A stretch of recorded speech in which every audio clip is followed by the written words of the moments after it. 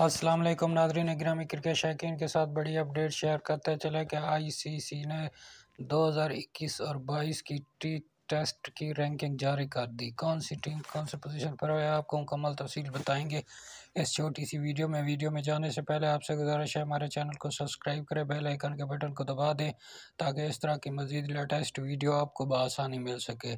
जी नाजिन आपको बताते चले, न्यूजीलैंड को इंडिया ने टेस्ट सीरीज़ में हरा कर पहली पोजीशन हासिल कर ली है।